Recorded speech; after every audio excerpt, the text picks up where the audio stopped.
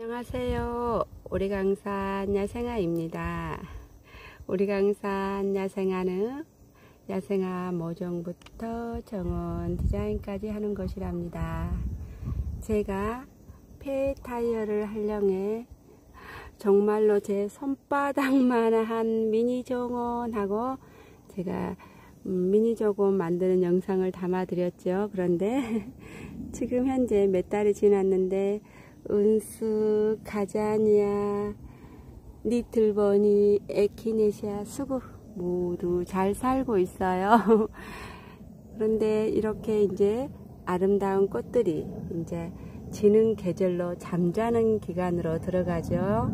그런데 이제 잠에서 깨어난 친구가 있답니다. 그 친구를 소개하려고 합니다. 대부분의 꽃들이 이제는 잠자는 시간인데요. 너무나 예쁜 시클라멘은 이제는 잠에서 깨어난 겨울 꽃이랍니다. 잎은 하트 모양처럼 이렇게 생겨 있고요. 하트 모양 위에 나비가 나풀나풀 정말 날아서 살포시 앉아 있는 것 같아요. 그래서 어, 시클라멘 매력은 추위에 강하다는 거 그리고 어, 식물을 못 키우실 분들도 누구나 잘 키울 수 있다는 거 그리고 꽃을 오래 볼 수 있다는 거 정말로 시클라멘은 음, 장점이 많은 꽃이라고 볼 수 있습니다. 그러면 지금부터 시클라멘 키우는 음, 방법 시클라멘 물주기 시클라멘 분갈이 시클라멘 음, 겨울철 음, 지금부터는 시클라멘을 어떻게 잘 키울 수 있는지 그 방법에 대해서 말씀드리려고 합니다. 너무너무 예쁘죠? 누구나 베란다에서 키울 수 있는 나비 같은 꽃 시클라멘 꽃은 지금부터 피기 시작해서 내년 3월 5월까지 피고 지고 피고 지고 한답니다. 그래서 시클라멘은 가장 중요한 게 영양과 통풍이 잘 돼야만이 시클라멘 꽃을 많이 볼 수 있고요. 그리고 꽃을 오래 보고 싶으신 분들은 제가 어떻게 하면 오래 볼 수 있는지 그 영상도 담아 드리겠습니다. 시클라멘 꽃은 잎은 이렇게 하트 모양처럼 생겨 있고요. 꽃을 한번 살짝이 한번 감상해 보시겠어요? 영상도 예쁘게 나오지만 실질은 정말로 예뻐요. 영상보다 실지가 더 예쁜 것 같아요. 그리고 시클라멘 꽃이 졌을 때 이렇게 돼요. 이렇게 현재 또 이 꽃은 지고 있는 상태이고요.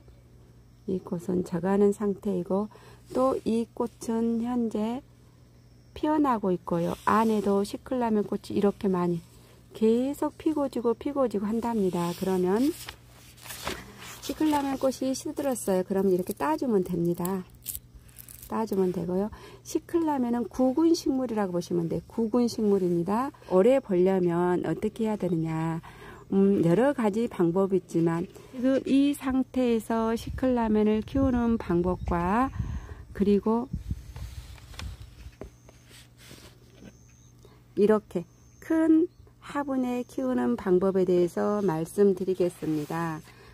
음, 대부분의 식물들은 대부분의 식물들은 뿌리가 왕성합니다. 그래야 꽃을 음, 많이 피워준다 할까요? 뿌리가 튼튼해야 꽃과 잎을 많이 건강한 잎을 보여준답니다. 그러면 저는 올 겨울에 시클라멘 꽃을 많이 보기 위해서 이 화분 지금 현재 화분보다 어, 3분지 1이 더 있는 화분에다 저는 키워보려고 합니다. 제가 왜 더 큰 화분으로 옮겨야 되는지 그 이유에 대해서 지금 설명하겠습니다. 제가 제 클라멘을 어, 지금 이대로 두고 키우는 방법을 택하지 않고 이렇게 좀 더 큰 화분에 분갈이 하려고 하는 이유는 이 부분의 식물들은 뿌리를 내릴 수 있는 공간이 넓었을 때 꽃이 크고 오래 피고 음, 건강하답니다. 그러면 지금 토레니아 핑크입니다. 똑같, 똑같은 날이 토레니아는 제가 화분에 심어 놓았어요. 그랬더니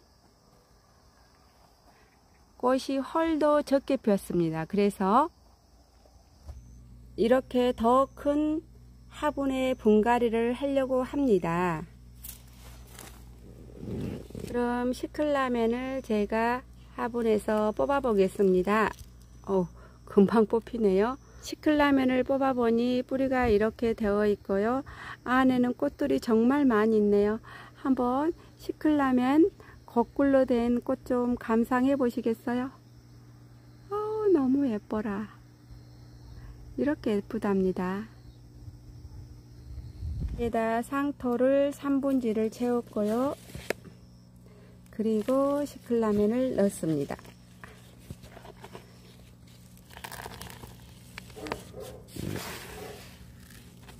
이렇게 채워줍니다.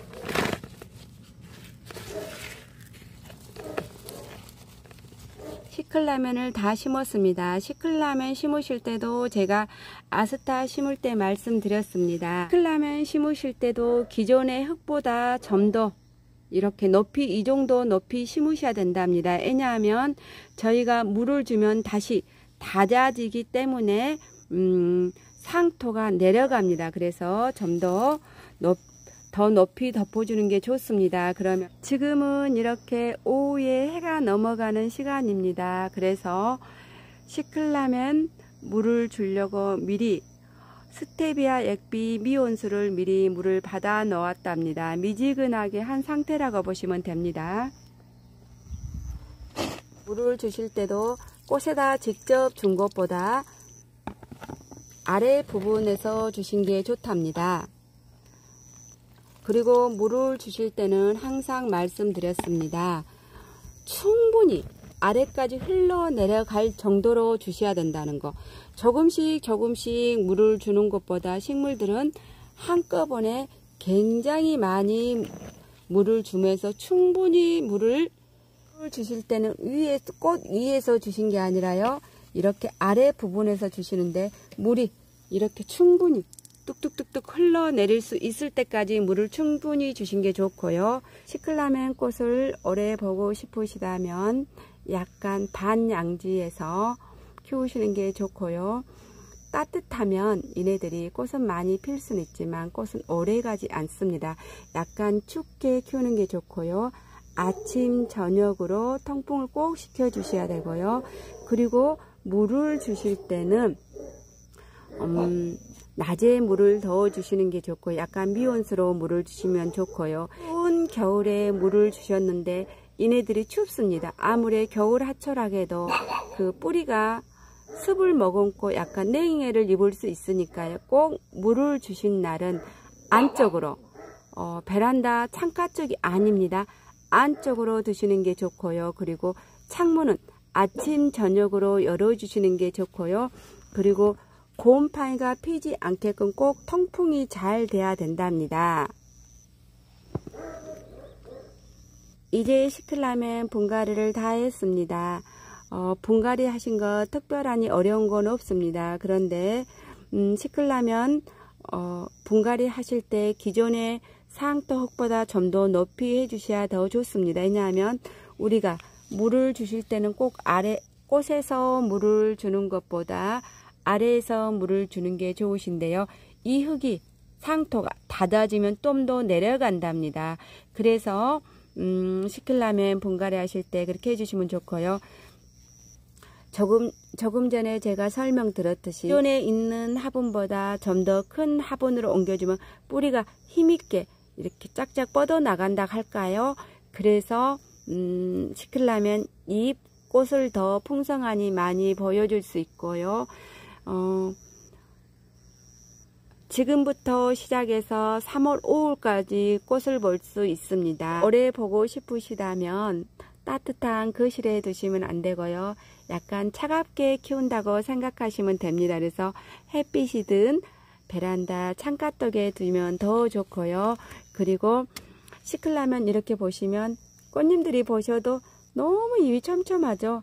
통풍이 전혀 될 수가 없습니다. 다음에 식물 키도 작은 데다가 이렇게 잎이 촘촘하니 나 있어요. 그러면 안에서 꽃들도 이렇게 계속 납니다. 그래서 자체적으로 통풍이 잘 안 됩니다. 그래서 물 주는 것도 중요하지만 시클라면은 정말 통풍이 중요하답니다. 그리고 어, 꼭 아침 저녁으로 베란다 창문을 열어주시면 좋고요.